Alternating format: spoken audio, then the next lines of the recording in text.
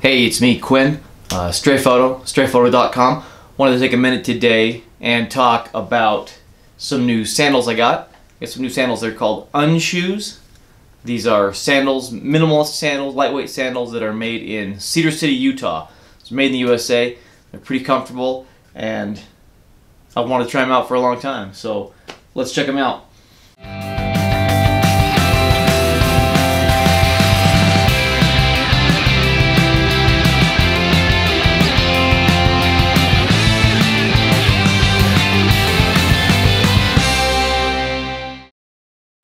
For the last couple years, I've been wearing these uh, Luna sandals, which are made in Seattle.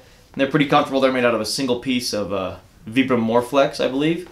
And the strap kind of wraps around the back there. It doesn't actually go between any the sole or anything. It just wraps around and through that little hole.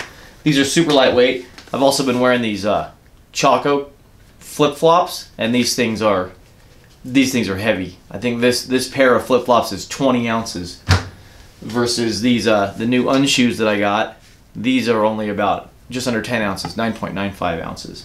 And then these old Lunas are even a little bit lighter, but those are getting worn out. So wanted to try these unshoes for a while, and I picked them up. I got the model called the Wokova Feather, and uh, it's a single strap, kind of a single strap design. You get the one strap here that goes around the uh, over the top of your foot and then around and back down.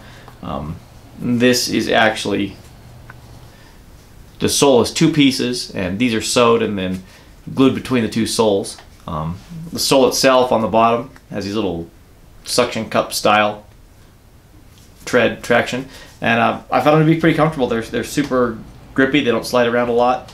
Um, you get this small kind of elastic band there that helps you get that on and off a little bit easier than um, if it weren't there. And then the ladder lock buckle for adjusting the uh, tension of the straps. I found them to be pretty good. I like the footbed. It's got this uh, kind of unique, almost a topographic design on it. I think is pretty cool. And then again, like I said, the sole is super griptiony. Um, they're comfortable to wear. They're lightweight. Uh, this footbed itself is perhaps a little bit harder than these uh, my older Luna style ones. But Luna doesn't even make this model anymore. I don't think you could even get something this light in the Luna lineup. Um, but I found these to be breaking in quite nicely. This um, my feet are kind of making a little nice little impression, and they're getting more and more comfortable every single day. I've worn them on a river trip. I've worn them in the mud. I've worn them hiking around arches. They're great. I really enjoy them.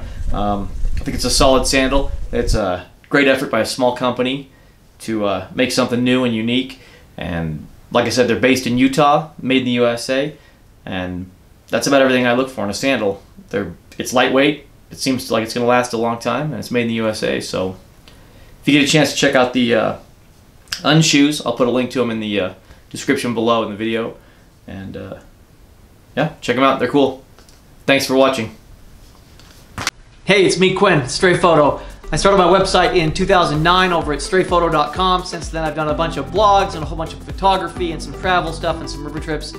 Um, if you like this video, go ahead and click the like button over here. And if you want to subscribe and see the new videos when I upload them, go ahead and click subscribe right here beneath me. Thanks for watching.